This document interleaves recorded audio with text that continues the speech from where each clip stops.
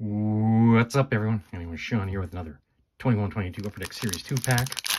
A little Shopper's Drug Mart, so hopefully get a young gun.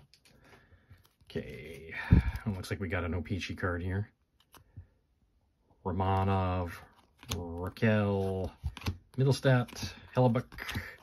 We got a marquee rookie of Jake Neighbours, Paul Thomas, and Olofsson. So so today, the hit is Jake Neighbours, a marquee rookie from O-Pee-Chee. So not a huge day, but uh, we'll be back at it again soon. So we'll talk to you guys in the next video. Happy collecting.